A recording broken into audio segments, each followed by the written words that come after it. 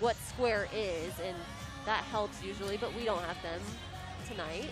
But still pretty today. obvious she was off to the, the right, right, she was side. on the corner of the mat there. Yeah. Yep. So we'll get her score in a moment. Crowbar score at 9-7-2-5 to open things scoring wise are involved for Stanford.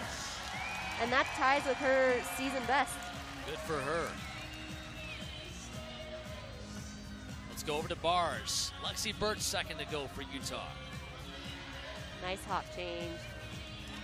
Pretty Jaeger, just a little bit of feet flex there. Oh, and has to save that shoot over. That arch back will be a deduction. Nice handstand. Double A.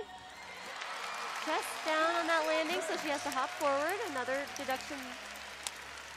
But good routine for Lex. So Lexi Burch, a career best score of 9-9 on bars last week. That helped the Red Rocks have their season best score on bars against ASU.